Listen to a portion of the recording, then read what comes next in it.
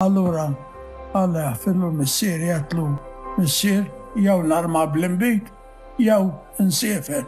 Għallibni mela trid toqtolna. Dan kliem emozzjonanti tal-mejjet Anthony Cassar li ta' 16-il sena ħasad lil ommu u lil missieru meta fit-tmiem tal-Gwerra l-Kbira qalilhom li ried jiftaħ negozju tal-inbid.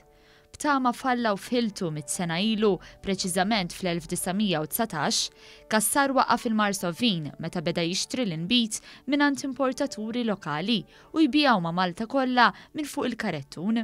Tlilt narma bl-inbid, qalli ibni. Qalli mela aħna għandna biex narmaw bl-inbid. Għedtlu missier, għedtlu jien, dejjem ittamajt f'Alla. U f'dak f'irħila tiegħi. Minn dak iż-żmien il-Marsovin kompliet tikber u saret intrapriża dinamika tal-familja li nafu biha llum fuq quddiem fil-qasam tal-produzzjoni u esportazzjoni ta' nbid ta' kwalità għolja. F'ċerimonja li fakkret il-mitt sena mit-twaqqif tal-Marsovin, il-Kap Eżekuttiv tal-kumpanija, Jeremy Cassar, qal li mhux kull kumpanija jirnexxielha tilħaq dan it-tragward daqshekk importanti. Qal li l-Marsovin dejjem kienet pass 'il quddiem mill-oħrajn u beħsiebha tkompli tiftaħ it-triq għall-futur tal-produzzjoni tal-inbid f'Malta għal ħafna u ħafna snin. Is-Sur Cassar qal li dan il-qasam qiegħed ukoll isebbaħ lil pajjiżna. plays an extremely important role for us as wine producers. but I believe it plays an even greater role in the beautification of our beautiful little island.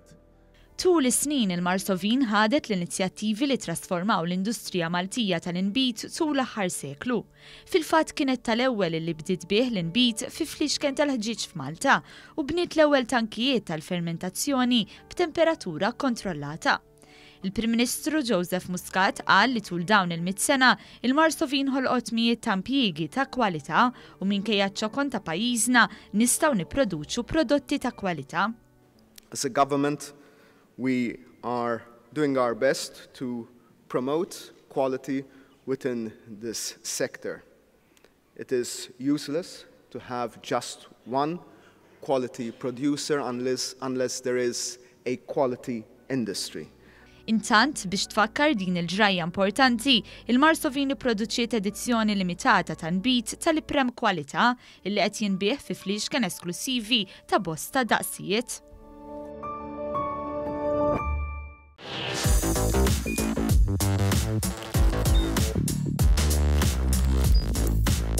Idħol fuq one.com.mt u hemmhekk tista' tara l-programmi kollha li jxandru fuq One permezz ta' One Play.